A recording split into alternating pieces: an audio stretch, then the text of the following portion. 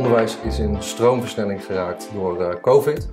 Uh, met name het afstandsonderwijs uh, voor zowel docenten als studenten. Hoe hou je studenten geactiveerd? Hoe hou je docenten geengaged? Hoe geef je ze zicht en middelen en ondersteuning? Nou, daar willen wij als Noord natuurlijk een belangrijke rol in spelen.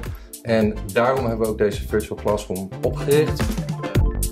Wat je ziet is dat in de praktijk dit een omgeving geeft die veel meer interactie biedt, veel meer mogelijkheden, zowel audiovisueel als technisch. En je kunt hier dus gewoon colleges geven en volgen op een manier zoals je dat in de werkelijke wereld eigenlijk uh, kunt doen, met daarbovenop nog een aantal digitale functionaliteiten. Waardoor een docent hier voor de klas staat, ook daadwerkelijk kan interacteren met zijn studenten.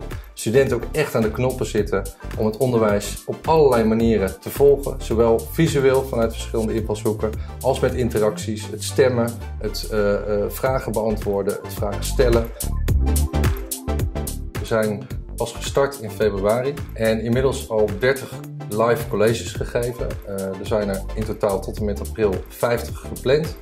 Uh, inmiddels al meer dan 1000 deelnemers die deel hebben genomen aan de virtual classrooms. De reacties zijn heel positief. Uh, dus weg van het schermpje thuis achter die laptop, eendimensionaal, naar echt een driedimensionale omgeving. Nou, dat noemen wij zeg maar bouwen aan het onderwijs van morgen.